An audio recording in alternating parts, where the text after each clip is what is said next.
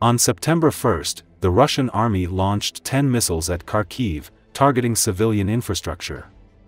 The attack resulted in 44 civilians being injured, including seven children. Ukraine's President Volodymyr Zelensky emphasized that the global community must mobilize all necessary forces to end this terror. There is damage to civilian infrastructure and casualties. The exact number is being clarified. There is still a threat of further attacks, Oleh Syniehubov, the head of the Kharkiv Regional Military Administration stated. Later, Kharkiv Mayor Ihor Terekhov clarified that one of the strikes hit a residential area. Several homes and a supermarket are on fire. There are casualties, including medical personnel, he added. Syniehubov also reported that the damaged infrastructure from the air strikes includes a shopping center, a sports facility, and residential buildings. According to Syniehubov, preliminary reports from law enforcement indicate that Iskander missiles were used in the strikes.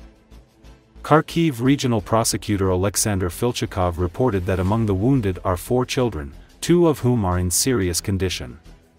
After this, the Russian Ministry of Defense claimed to have intercepted 158 Ukrainian drones in a large-scale attack overnight on September 1, allegedly targeting 16 regions across the country.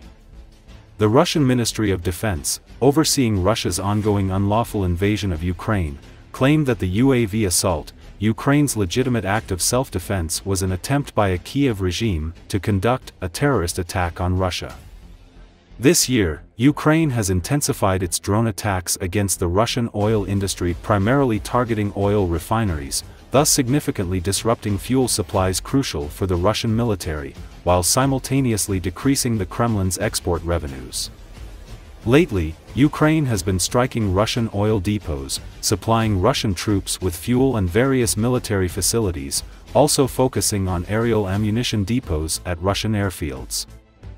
According to the Russian Ministry of Defense, drones were shot down over various regions, including 46 in Kursk Oblast, 34 in Bryansk Oblast, 28 in Voronezh Oblast, and 14 in Belgorod Oblast.